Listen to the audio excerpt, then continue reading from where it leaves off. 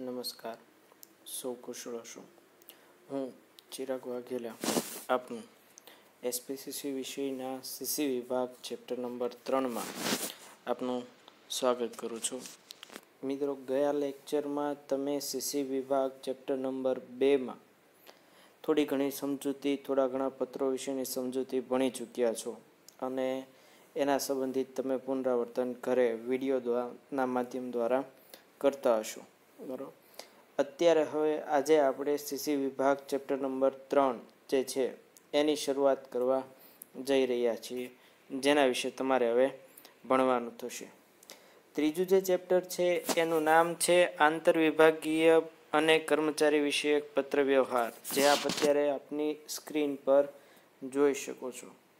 હવે આંતરવિભાગીય પત્ર વ્યવહાર એટલે કે જ્યારે કોઈ પણ એવી મોટી મોટી કંપનીઓ હોય કે જે ઘણા બધા વિભાગોમાં કામ કરતી હોય છે, તો એ બધા વિભાગો વચ્ચે જે કાંઈ પત્રો વ્યવહાર થતા હોય છે, જે કાંઈ માહિતીઓની આપલે થતી હોય છે, એવા પ્રકારના પત્રો.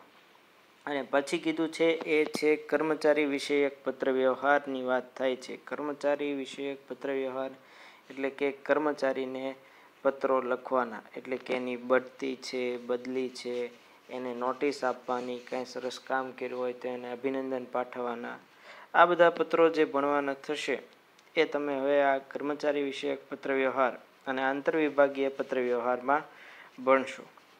બીજી એક મહત્ત્વની બાબત છે જે તમારે લોકોએ નોટ ડાઉન કરવી હોય તો તમે નોંધ કરવી હોય, એ જગ્યાએ તમે નોંધ કરી શકો છો અને આ નોંધ ખૂબ જ જરૂરી છે. આ બાબતનું તમારે ખાસ ધ્યાન રાખવું જરૂરી બનશે. મુખ્ય બાબત એ છે, જે નોંધ તમારે લોકોને કરવાની છે, એ નોંધ એ છે કે જ્યારે તમે લોકો અત્યાર સુધી જે પત્રો ભણ્યા, એટલે કે સીસી વિભાગ ચેપ્ટર નંબર એક, બે અને હવે જે ભણવાના છો, ત્રણ, ચાર અને છ, તો એમાં તમને ખ્યાલ છે કે ભાઈ તમને જ્યારે ફોર્મેટ સમજાવ્યું ત્યારે કીધું હતું કે પેઢી કંપની કે સંસ્થા લખનાર હશે, ત્યારે તમારે આપના વિશ્વાસો પછી એક્સ વાય ઝેડ લખવું ફરજિયાત છે. પણ અહીંયા સીસી વિભાગ ચેપ્ટર નંબર એક ફક્ત ને ફક્ત સીસી વિભાગ ચેપ્ટર નંબર ત્રણ જે છે, બરોબર? ફરી વખત રિપીટ કરું છું સીસી વિભાગ ચેપ્ટર નંબર ત્રણ. ફક્ત ને ફક્ત સીસી વિભાગ ચેપ્ટર નંબર ત્રણમાં જ તે. આપના વિશ્વાસો પછી તમારે નામ લખવું ફરજિયાત છે. બાકી એક પણ ચેપ્ટરમાં તમારે આપના વિશ્વાસો પછી નામ લખવાનું થતું નથી. ફક્ત ને ફક્ત સીસી વિભાગ ચેપ્ટર નંબર ત્રણમાં જ તે આપના વિશ્વાસો પછી તમારે ફરજિયાત નામ લખવું પડશે કે લખનાર કોણ છે.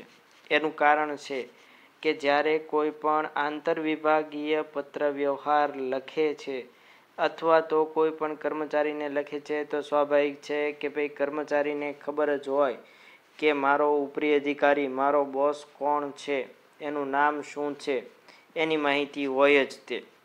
અને જ્યારે આંતરવિભાગીય પત્રવ્યવહાર થાય ત્યારે એકબીજા વિભાગમાં કોણ સુપરવાઇઝર છે, કોણ મેઇન સાહેબ છે, અથવા તો કોણ અધિકારી છે, એ બાબતની માહિતી તો એમની પાસે હોય જ છે. એટલે તમારે અહીંયા આંતરવિભાગીય પત્રવ્યવહારવાળું જે ચેપ્ટર સી વિભાગ ચેપ્ટર નંબર ત્રણ, જે આજે આપણે ભણી રહ્યા છીએ એમાં તમારે ફરજિયાત, આપના વિશ્વાસો પછી તમારે નામ લખવું ફરજિયાત છે. ફરી વખત રિપીટ કરી દઉં છું, નોંધ ન કરી હોય તો નોંધ કરી લેજો કે આંતરવિભાગીય પત્ર વ્યવહારવાળું જે ચેપ્ટર છે, એટલે કે સીસી વિભાગ ચેપ્ટર નંબર ત્રણમાં જ તે. ફક્ત ને ફક્ત સીસી વિભાગ ચેપ્ટર નંબર ત્રણમાં આપે આપના વિશ્વાસો પછી નામ લખવું જરૂરી છે. એ સિવાયના તમામ ચેપ્ટરમાં તમારે ફક્ત આપના વિશ્વાસો પછી એક્સ, વાય, ઝેડ જ લખવાનું છે. એ સિવાય બીજું કોઈ પણ વસ્તુ આવવી જોઈએ નહીં. હવે આજેની આપણે શરૂઆત કરીએ છીએ કે છે આંતરવિભાગીય પત્ર વ્યવહાર હવે એની પ્રસ્તાવના શું કહે છે જુઓ. પ્રસ્તાવના કહે છે કે જ્યારે પણ એમ કહેવાય છે કે સતત પરિવર્તનશીલ અને હરીફાયુક્ત ધંધાકીય જગતમાં ધંધાની પ્રગતિ તેમજ સફળ સંચાલન માટે મોટી વ્યાપારી પેઢી કે સંસ્થાએ પોતાના જુદા જુદા વિભાગો સાથે સંકળાયેલા રહેવું પડે છે. જો એમ કહે છે કે જે સતત પ્રયત્નશીલ છે, નત નવા પ્રયત્નો કરે છે, હરીફાઈ કરે છે અને હરીફાઈમાં ટકવું હોય, પોતાનું નામ જાળવી રાખવું હોય, દાખલા તરીકે કોઈ પણ એક ધંધો છે અત્યારે જે કાંઈ પ્રતિષ્ઠા એણે હાંસલ કરી છે. તો આ જે પ્રતિષ્ઠા હાંસલ કરી છે, એ જાળવી રાખવા માટે તેમજ એની જે કાંઈ પ્રગતિ જે કરી છે, એને જો તમારે જાળવી રાખવી તો એમ કહે છે કે બીજે સફળ સંચાલન છે, એટલે કે બહુ ટોપ મોસ્ટ છે, દરેક જગ્યાએ એનું પાલન થાય છે, દરેક જગ્યાએ એની નામના છે. તો એણે શું કરવું પડે? પછી વેપારી પેઢી હોય કે સંસ્થા હોય પોતાના અલગ અલગ જે કાંઈ પણ વિભાગો છે, એ તમામ વિભાગો સાથે એમણે સંકળાયેલા રહેવું પડે. સંકળાયેલા એટલે કે જોડાયેલા રહેવું પડે. કયા વિભાગમાં શું થાય છે, કેવા પ્રકારની કામગીરી થાય છે, આ તમામ પ્રકારની માહિતી એમની પાસે હોવી જરૂરી છે. દાખલા તરીકે એક ઉદાહરણ સમજીએ કે કોઈ પણ મોટી કંપની છે, ચાલો કોઈ પણ વસ્તુ બનાવે છે. તો એના ઉત્પાદન વિભાગને ખબર હોવી જોઈએ કે વેચાણ વિભાગમાં કેટલું કામ થાય છે, કેટલું નથી. થતું વેચાણ વિભાગે કેવું કામ કર્યું છે, કેટલું વેચાણ થયું છે, કેટલું બાકી છે, કેટલો સ્ટોક પડ્યો છે, એ એકબીજાને ખબર હોવી જોઈએ. ખબર હશે તો એને ઉત્પાદન કરવાની ખબર પડશે, નહીતર ખબર પડશે નહીં. અથવા બીજી બાબત કહીએ કે હવે એ જ ઉદાહરણમાં વેચાણવાળાને પણ ઉત્પાદનની ખબર હોવી જોઈએ. કે અત્યાર સુધી કેટલું ઉત્પાદન થઈ ગયું છે, કેટલો સ્ટોક અત્યારે હાજરમાં છે, કેટલો સ્ટોક હાજરમાં નથી, તો આ બધી બાબતો માટે એણે ફરજિયાત શું કરવું પડશે? એકબીજા વિભાગ સાથે જોડાયેલા રહેવું પડે. દાખલા તરીકે તમે પણ તમારા મિત્રો સાથે જોડાયેલા હો. ડે ટુ ડે સ્કૂલની બધી માહિતી મળતી હોય. સ્કૂલે આવ્યા હો ગેરાજ કે ના આવ્યા હો, તો એ સમયે તમને માહિતી મળી જાય છે. કેમ તમે સંકળાયેલા છો એટલા માટે? આ વિભાગો વચ્ચે પત્ર વ્યવહાર જરૂરી બને છે. એમ કહે છે કે ભાઈ, જે કાંઈ વિભાગો છે, એ તમામ વિભાગો સાથે તમારે પત્ર વ્યવહાર કરવો જરૂરી બની જાય છે. અને આ પત્ર વ્યવહાર એ ખૂબ જ પાયાની વસ્તુ છે. આવો પત્ર વ્યવહાર મોટે ભાગે જુદા જુદા વિભાગો વચ્ચે તથા તેમના વિવિધ હોદ્દા ધરાવતા અધિકારીઓ વચ્ચે થતો હોય છે. એમ કહે છે કે આ વિભાગ, કયા કયા વિભાગમાં વચ્ચે પત્ર વ્યવહાર થાય છે? એની વાત છે. તો તમને આ પૂછવું હોય તો એક માર્કના સવાલ તરીકે આ પૂછી શકે છે કે જે કાંઈ પત્ર વ્યવહાર થાય છે, એ અલગ અલગ વિભાગો વચ્ચે થાય છે તથા એના જે કોઈ પણ હોદ્દો ધરાવતા વ્યક્તિઓ છે, એ તમામ વ્યક્તિઓ વચ્ચે થતા હોય છે. એટલે કે કોઈ પણ એવા અધિકારીઓ વચ્ચે જે છે, એ પત્ર વ્યવહાર થતો હોય છે. આમ ધંધાકીય પેઢીની વડી કચેરીથી શાખાઓને તથા શાખાઓથી વડી કચેરી વચ્ચે થતા પત્રવ્યવહારને આંતરવિભાગીય પત્રવ્યવહાર કહેવામાં આવે છે. જો આ તમને પૂછવું હોય તો એક માર્કમાં પૂછાઈ શકે છે, આંતરવિભાગીય પત્રવ્યવહાર એટલે શું તેની વ્યાખ્યા જણાવો. તો ત્યાં તમારે આ વ્યાખ્યા લખવી પડશે.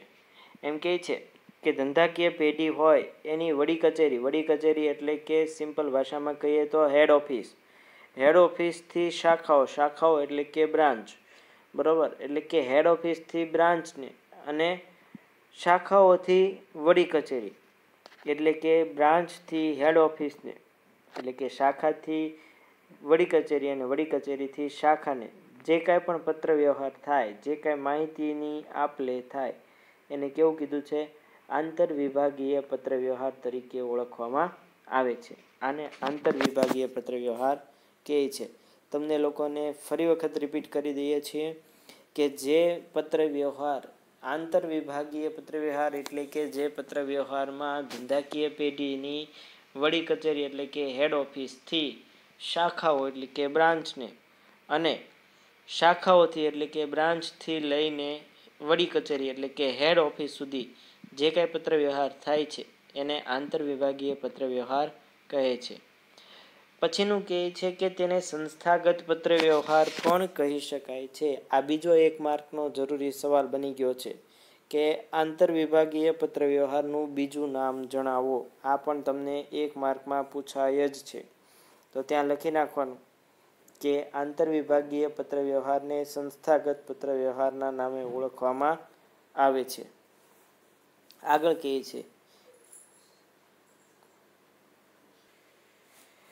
આગળ જણાવે છે કે આ પત્ર વ્યવહાર નોટિસ પરિપત્ર કે મેમો સ્વરૂપમાં હોય છે. હવે આ જે પત્ર વ્યવહારને આપણે જાણ્યું કે ભાઈ આંતરવિભાગીય પત્ર વ્યવહારને કયા નામથી ઓળખવામાં આવે છે, તો કે ભાઈ સંસ્થાગત પત્ર વ્યવહારના નામથી આપણે ઓળખીએ છીએ. અને આ જે કાંઈ પત્ર વ્યવહાર થાય છે, કયા સ્વરૂપમાં હોય છે, કયું સ્વરૂપ હોય છે તો નોટિસ, પરિપત્ર અને મેમો આ ત્રણ સ્વરૂપમાં જોવા મળે છે. આ પણ તમને પૂછવું હોય તો પૂછી શકે કે આંતરવિભાગીય પત્રવ્યવહારનું સ્વરૂપ જણાવો, તો ત્યાં તમારે આ ત્રણ નામ લખવા જરૂરી થશે. નોટિસ, પરિપત્ર અને મેમો આ ત્રણ સ્વરૂપમાં આંતરવિભાગીય પત્રવ્યવહાર કરવામાં આવે છે. પછી કહે છે કે જુદા જુદા વિભાગો વચ્ચેનો સંપર્ક મૌખિક સૂચનો કે અન્ય સંચાર માધ્યમો દ્વારા થતો હોય છે. એમ કહે છે કે ભાઈ, જુદા જુદા વિભાગની વાત કરીએ તો આ જે કાંઈ પણ વિભાગો છે, આ તમામ વિભાગો વચ્ચે જે કાંઈ પણ પત્ર વ્યવહાર થાય છે, એ મૌખિક સૂચનો મૌખિક સૂચનો એટલે કે મોઢે મોઢ બધી સૂચનાઓ આપવામાં આવતી હોય. કે પછી કીધું છે, અન્ય સંચાર માધ્યમો. અન્ય સંચાર માધ્યમો એટલે કે કોઈ પણ તમે લેખિતમાં આપો, ટેલિફોનિક દ્વારા વાતચીત કરો, તો આ બધા અન્ય માધ્યમ થઈ ગયા કહેવાય. તો આ કોઈ પણ માધ્યમનો તમે ઉપયોગ કરી શકો છો. આગળ કહે છે, આમ છતાં આંતરવિભાગીય પત્ર વ્યવહાર નીચેની જરૂરિયાતની દ્રષ્ટિએ મહત્વનો છે. ભાઈ, તેમ છતાં એમ કહે છે કે ભાઈ, શા માટે આ આંતરવિભાગીય પત્ર વ્યવહારની જરૂરિયાત શા માટે છે? તો એ તમારે સમજવું ખૂબ જરૂરી છે. હવે એની જરૂરિયાત વિશે આપણે સમજવાનું છે. કે છે કે આંતરવિભાગીય પત્ર વ્યવહારની જરૂરિયાતમાં, હવે આમાં તમને અત્યારે સ્ક્રીન પર જોઈ શકો છો કે છ એક મુદ્દા તમને આપેલા છે. હવે આ છ મુદ્દામાંથી તમને એક એક માર્કના સવાલ જવાબ સેપરેટલી પૂછવા હોય, એટલે કે અલગથી તમને પૂછવા હોય તો આ પૂછી શકે છે. એટલા માટે આ વીડિયો માધ્યમમાં તો હું કહીશ જ. તેમ છતાં આપને પણ જો ટેક્સ્ટબુક અવેલેબલ હોય અને પોતાના વાંચન સમય દરમિયાન તમને એવું લાગે કે આ એક એક માર્કમાં પૂછી શકાય છે, તો તમે ટીક કરી અને એની નોંધ લેજો. પહેલું કહે છે, પત્ર સ્વરૂપે આપેલી માહિતી લાંબા સમય સુધી જાળવી શકાય છે. જો ભાઈ જરૂરિયાતનો પહેલો મુદ્દો એવું કહે છે કે પત્ર સ્વરૂપે તમે જે કાંઈ પણ માહિતી આપો છો એ શું થાય છે? તો કે જાજો સમય સુધી, લાંબા સમય સુધી તમે સાચવી શકો છો. એટલે કે ભવિષ્યમાં આપણને જરૂરિયાત હોય, તો આપણે ભવિષ્યમાં ક્યારે, કેવી રીતના ઉપયોગ કરવો, કોને આપણે કેવા પત્ર દ્વારા કેવી માહિતી આપી હતી, આ તમામ વસ્તુઓ જે છે એ તમે જોઈ શકો છો. એટલે કે એમ કહે છે કે ભાઈ, ભવિષ્યના સંદર્ભે તમે વાત કરવી હોય તો એને તમે લાંબો સમય સુધી જાળવી શકો છો. બીજું કહે છે માહિતીને ફાઇલિંગ કરી શકાય છે તેમજ ભવિષ્યમાં તેનો ઉપયોગ થઈ શકે છે. એમ કહે છે કે ફાઇલિંગ કરવાની વાત છે. તમે અત્યારે જાણતા હશો કે ભાઈ કોમ્પ્યુટરમાં જે કાંઈ પત્રો લખાય છે, પત્રોનું સાઇઝ જે કહેવાય એટલે કે આજુબાજુની જે સ્પેસિંગ જગ્યા જે છોડવાની વાત છે, જેના વિશે તમે ધોરણ અગિયાર સીસી વિભાગ ચેપ્ટર નંબર ચારમાં ભણી ચૂક્યા છો કે આજુબાજુ કેટલી જગ્યા છોડવી, કેટલી નહીં. તો એ ફાઇલિંગ કરવાનું હોય તો એ મુજબની માહિતી જે છે એ લખાતી હોય છે. પત્ર એ ફોર્મેટમાં લખાતો હોય છે. જેથી કરીને આપણે એનું પંચિંગ કરી અને ફાઇલમાં વ્યવસ્થિત સાચવી શકીએ છીએ. અને એમ કહે છે કે ભાઈ, ભવિષ્યમાં આપણે એનો ઉપયોગ પણ કરી શકીએ. કે દાખલા તરીકે આપણે આ વિભાગને શું માહિતી આપી હતી, શું નહોતી આપી, એ બધી બાબતોની સાબિતી સ્વરૂપે આપણે આને સાચવી શકીએ છીએ. દાખલા તરીકે એક તમને ઉદાહરણ આપીએ. કે વેચાણ વિભાગે, ઉત્પાદન વિભાગને કહ્યું કે ભાઈ, તમે અમને સો એકમનું ઉત્પાદન કરી આપો, કેમ કે આપણી વસ્તુની બજારમાં ખૂબ જ મોટી માંગ છે. તો એ સમયે દાખલા તરીકે ઉત્પાદન વિભાગ જે છે, જો એ ઉત્પાદન કરીને નહીં આપે, તો એ સંજોગોમાં શું થશે? કે ભાઈ, સાબિતી તરીકે એને દેખાડી શકાશે કે ભાઈ, અમે તમને આ પત્ર જે છે એ લખેલો છે. તેમ છતાં આપના દ્વારા આ કામ કરેલું નથી. એટલે કે ભવિષ્યમાં પણ તમને ખ્યાલ આવે કે ભાઈ આપણે આવો કંઈક ઓર્ડર આપ્યો હતો અને સમયસર થયો નહોતો. ત્રીજું કીધું છે, ક્યારેક અનિચ્છનીય કે પ્રત્યક્ષ રીતે સંકોચ થાય તેવી માહિતી પત્ર સ્વરૂપે નિસંકોચ જણાવી શકાય છે. એમ કહે છે કે ક્યારેક અનિચ્છનીય એટલે કે આપણી ઈચ્છા વિરુદ્ધની બાબત હોય તેમ છતાં આપણે કેવી પડે એવી અગત્યની હોય એવી બાબત એટલે અનિચ્છનીય બાબત. અને પછી કીધું છે, એ છે પ્રત્યક્ષ રીતે સંકોચ થાય એવી ભાઈ. પ્રત્યક્ષ એટલે કે સામ સામે કેવું આપણી માટે મુશ્કેલ હોય. તો એ સંજોગોમાં એટલે કે પ્રત્યક્ષ રીતે આપણે સંકોચ થાય, કહી ન શકીએ. આવી બધી બાબતો છે એ તમે પત્ર સ્વરૂપે નિસંકોચપણે. નિસંકોચપણે એટલે કે કોઈપણ પ્રકારના સંકોચ વગર સામેવાળી વ્યક્તિને તમે પહોંચાડી શકો છો. આપની માહિતી એને મળી જશે. તમામ પ્રકારની માહિતીનો એને ખ્યાલ આવશે. એટલે એમ કહે છે કે ક્યારેક આવી અનિચ્છનીય કે એવી પ્રત્યક્ષ એટલે કે સામ સામે કહી ન શકાય એવી બાબત હોય અને એ કહેવામાં સંકોચ થાય એવું હોય તો તમે એને પત્ર દ્વારા જણાવી શકો છો. આગળ જણાવે છે, વિભાગો કે વડી કચેરી વચ્ચે થયેલ વિચારો કે માહિતીની આપલેના દસ્તાવેજી પુરાવા તરીકે થઈ શકે છે. જો આ ખૂબ જ અગત્યનો મુદ્દો છે, આ તમને આનાથી એક માર્ક પૂછવું હોય તો પૂછી શકાય છે, એક માર્કમાં, કે ભાઈ વિભાગો અને વડી કચેરી, એટલે કે જે તે શાખા કે અલગ અલગ વિભાગથી વડી કચેરી વડી કચેરી એટલે કે હેડ ઓફિસ હેડ ઓફિસ સુધી જે કાંઈ વિચારો, જે કાંઈ માહિતી છે, જો એની આપણે આપલે કરી હોય, કાંઈ વિચારો આપ્યા છે, કાંઈ બાબતો રજૂ કરી છે, કે કાંઈ એવું વસ્તુઓ જણાવી છે, તો એના પુરાવા તરીકે તમે આ બાબત દર્શાવી શકો છો કે અમે તમને આવી બાબત જણાવેલી છે, તેમ છતાં આપના સુધી આ કાર્ય કરવામાં આવેલું નથી. ક્યારેક તમે એની પાસેથી ખુલાસો પણ માગી શકો છો કે ભાઈ કેવા કારણોસર આપે અમારું કામ કરેલું નથી. તો આને પુરાવો એક સાબિતી તરીકે તમે આ બાબત જે છે એ રજૂ કરી શકો છો. પછીનો મુદ્દો કીધો છે, જે તે વ્યક્તિને લેખિતમાં સોંપવામાં આવેલા કામને કારણે તે પોતાની ફરજ પ્રત્યે સભાન બને છે.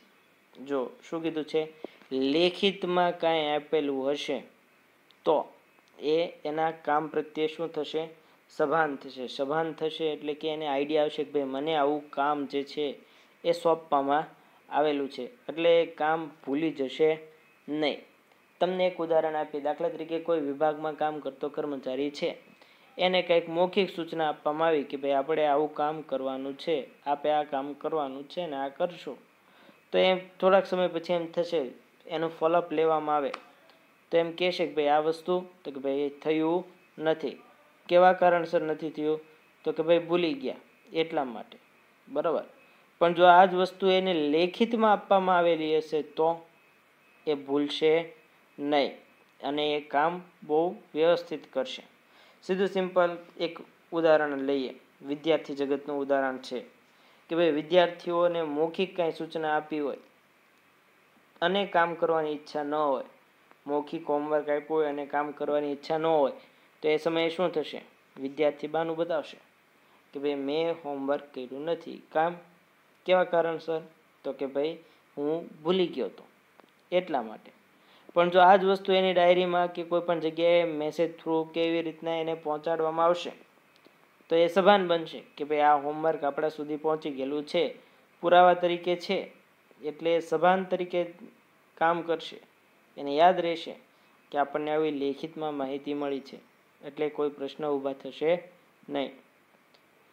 પછીનું કીધું છે, આ ઓછું ખર્ચાળ અને વધુ અસરકારક સંચાર માધ્યમ છે. એમ કહે છે કે ઓછું ખર્ચાળ છે અને કેવું કીધું છે?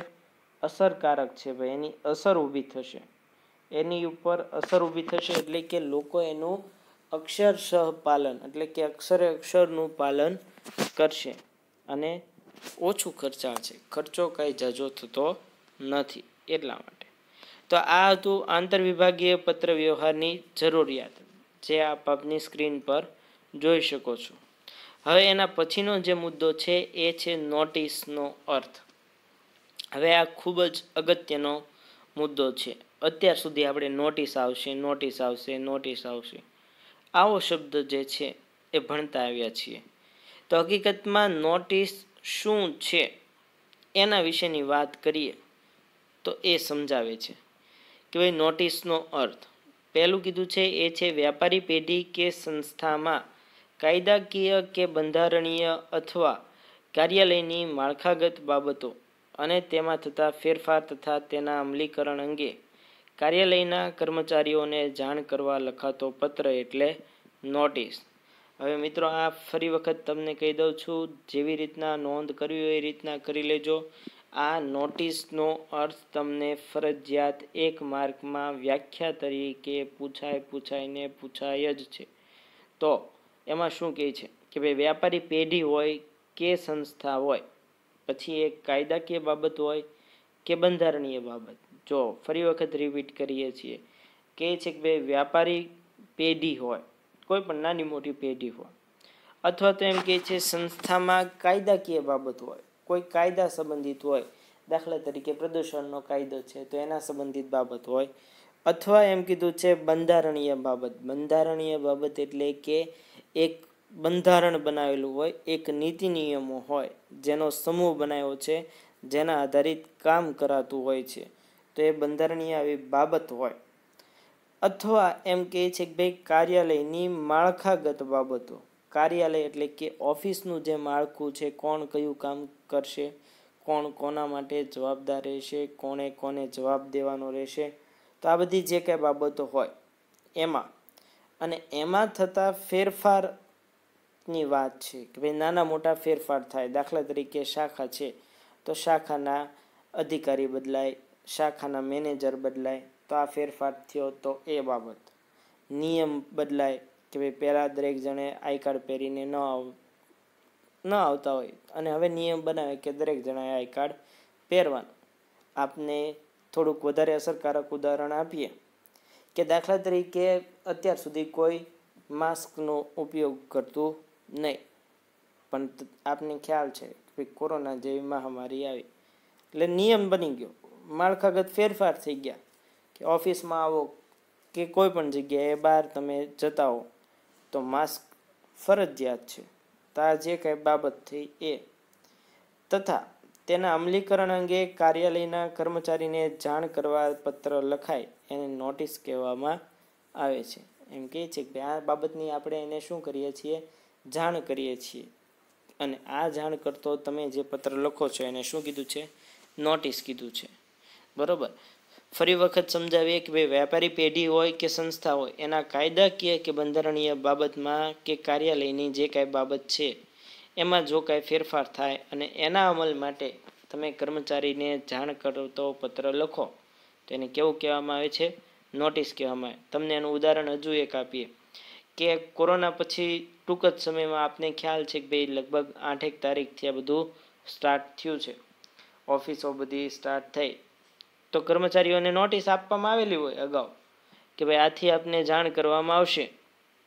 કે કરીએ છીએ કે દરેક કર્મચારીએ ફરજિયાત ઓફિસમાં આવે એ સમયે માસ્ક હોવું જોઈએ અને હાથ સેનિટાઈઝરથી સાફ કરેલા હોવા જોઈએ, જેનો દરેક જણાએ ચુસ્તપણે અમલ કરવાનો રહેશે. તો આ શું થઈ ગયું? નોટિસ થઈ ગઈ અને એનું તમારે શું કરવું પડશે? અક્ષરશ પાલન કરવું જરૂરી છે. એમાં ચાલશે નહીં. તો આ હતું નોટિસ હવે કહે છે નોટિસના હેતુઓ. ભાઈ નોટિસ શા માટે લખવામાં આવે છે? તો એ નોટિસની વાત છે. એના વિશે આપણે સમજીએ. જણાવે છે પહેલું કે જ્યારે નીતિ વિષયક બાબતોનું સંપૂર્ણ પાલન ન થતું હોય ત્યારે કર્મચારીઓનું ધ્યાન દોરવા માટે. એમ કહે છે કે નીતિ વિષયક જે કાંઈ બાબત છે, નીતિ સંબંધિત જે કાંઈ બાબત છે, અને એ બાબતનું સંપૂર્ણ પાલન ન થાય, કીધેલું પાલન ન થતું હોય, તો એવા સંજોગોમાં કર્મચારીઓનું ધ્યાન દોરવું હોય, તો તમે નોટિસ આપી શકો છો.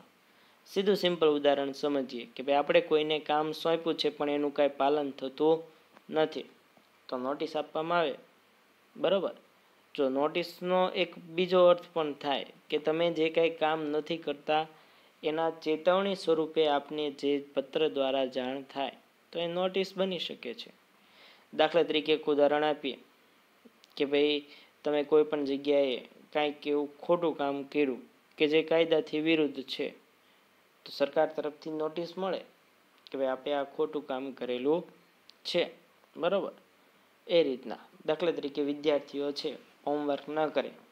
તો રોજનીશી સ્વરૂપે કે કોઈ પણ બીજા અન્ય માધ્યમ દ્વારા એને નોટિસ આપવામાં આવે છે કે ભાઈ આપનું બાળક અથવા તો વિદ્યાર્થી જે છે એ વ્યવસ્થિત કામ કરતું નથી. તો એ સમયે જે માહિતી આપવામાં આવી, જે પત્ર દ્વારા આપવામાં આવી, એને શું કહી શકાય છે? નોટિસ. પછી કહે છે, સંજોગો અનુસાર કરવામાં આવતા ફેરફારોથી કર્મચારીઓને જાણ કરવા માટે. સંજોગ અનુસારની વાત છે. નીતિ નિયમ અને જેવી પરિસ્થિતિ હોય, એનાથી તમારે શું કરવાનું છે? કર્મચારીને આપણે વાકેફ કરવાના છે, માહિતગાર કરવાના છે. એ વસ્તુ એટલે શું? નોટિસ. તમે એને નોટિસ દ્વારા જે માહિતી જે છે એ પહોંચાડી શકો છો. બરાબર? દાખલા તરીકે અત્યારે પરિસ્થિતિ છે, તો એના સંબંધિત કાંઈ ફેરફાર થાય, તો આપ નોટિસ દ્વારા જાણ કરી શકો છો. પછી કહે છે, ક્યારેક કર્મચારીને નિયત ક્રમમાં કે ચોક્કસ કાર્ય પદ્ધતિ મુજબ કામ કરવાનો આદેશ આપવા માટે કે ભાઈ કોઈ કર્મચારી વ્યવસ્થિત ચોક્કસ ક્રમમાં કામ નથી કરતો કે વ્યવસ્થિત કામ નથી થઈ શકતું, તો એને આપણે આદેશ આપવાનો છે. પણ નોટિસ સ્વરૂપે આપણે આદેશ આપી શકશું ભાઈ આપના દ્વારા વ્યવસ્થિત કામ થતું નથી. તો મહેરબાની કરીને આપ વ્યવસ્થિત કામ કરશો. અન્યથા અમારે આપના વિરુદ્ધ પગલાં લેવા પડશે. આવી જે માહિતી તમે નોટિસ દ્વારા, પત્ર દ્વારા આપો છો, તો એ શું થઈ ગયું કહેવાય? નોટિસ પછી કહે છે, સામાન્ય રીતે કોણે કયું કામ ક્યારે અને કયા ક્ષેત્રમાં રહીને કરવાનું છે તે દર્શાવવા માટે. એમ કહે છે કે ભાઈ, કોણે કયું કામ કરવાનું છે, ક્યારે કરવાનું છે, કઈ મર્યાદામાં રહીને કરવાનું છે, એનો જવાબ કોને આપવાનો છે? આ તમામ બધી બાબતો જે છે, એ તમારે જે કાંઈ પણ પત્ર દ્વારા તમે જણાવો છો. એને કયું કહી શકાય છે? નોટિસનો હેતુ કહી શકાય છે. બરાબર? કે આ તમે માહિતી પહોંચાડવા માટે આવું કામ કરી રહ્યા છો. પછીનું કીધું છે કે કામની પ્રગતિનો અહેવાલ કોણે કોને આપવાનો રહેશે તેની જાણ કરવા માટે. કોણે કોના અંડરમાં કામ કરવાનું છે, એના ઉપરી અધિકારી કોણ છે, કોણ એના બોસ છે, કોણ એનું કામ કરવાનું છે, કોના સૂચનોનું પાલન કરવાનું છે અને આપે કયું કામ કર્યું છે, કેવું કામ થયું છે, એનો અહેવાલ આપવાનો અથવા તો જે કાંઈ પણ માહિતી ઉપરી અધિકારીઓને આપવાની હોય છે, એ બાબતની જાણ કરવી હોય તો પણ તમે નોટિસ દ્વારા જાણ કરી શકો છો. બરાબર? તો આ જે કાંઈ પત્ર દ્વારા તમે જાણ કરો છો, એને કેવા કહેવાય છે? નોટિસ તરીકે ઓળખવામાં આવે છે. હવે આ જે બાબતો હતી, જેના વિશે તમે ભણી ચૂક્યા અત્યાર સુધી આ વિડીયોના માધ્યમ દ્વારા. કે આંતરવિભાગીય પત્રવ્યવહાર શું છે, કેવી રીતના થાય છે, એનો ઉપયોગ શું છે? કેવા કેવા કારણસર આપણે એનો ઉપયોગ થતો હોય છે. બરાબર? તો આ બધી બાબતો તેમજ એમ કહે છે કે ભાઈ નોટિસનો જે કાંઈ હેતુ જે છે, બરાબર? એટલે કે નોટિસ કેમ લખાય, નોટિસ શું છે, એના સંબંધિત જે કાંઈ વાત છે એ આપણે આ વિડીયોના માધ્યમ દ્વારા જે છે એ શીખ્યા છીએ. કે ભાઈ હવે નોટિસ કોને કહેવાશે કેવા કારણસર નોટિસ આપવામાં આવે છે અને નોટિસનો મુખ્ય હેતુ શું છે, આ જ તમામ બાબતો આજે આપણે આ વીડિયો લેક્ચરના માધ્યમ દ્વારા ભણ્યા છીએ. તો વિદ્યાર્થી મિત્રો, આપને વિનંતી છે કે તમે બને એટલું આ વિડીયોનું તમે રિવિઝન કરો વીડિયો સાંભળો અને તમારા જે કાંઈ પ્રશ્નો છે એ તમે પૂછી શકો છો. જેથી કરીને તમને આગળ ભણવામાં કોઈ પણ પ્રકારની તકલીફ પડે નહીં અને આપનું ભણવાનું જે છે એ સરસ કોઈ પણ પ્રકારના વિઘ્ન વગર સુચારુ રીતે, સરસ રીતે પાર પડે અને તમારો હેતુ જે છે એ સિદ્ધ થાય. એના હેતુ સ્તર એવા હેતુસર આ એક પ્રયાસ કરવામાં આવેલો છે. તો વિશ્વાસ રાખીએ કે તમે લોકો આ વિડીયોને સતત જોતા રહો અને રિવિઝન કરી અને તમે તમારી સ્ટડીનું નુકસાન ન થાય એ બાબતનું ખાસ ધ્યાન રાખી અને આ વીડિયો સતત તમે રિવાઇઝ કરો, જોતા રહો અને તમારું ભણવાનું કન્ટિન્યુ રાખો તેવી આશા. Thank you thank you very much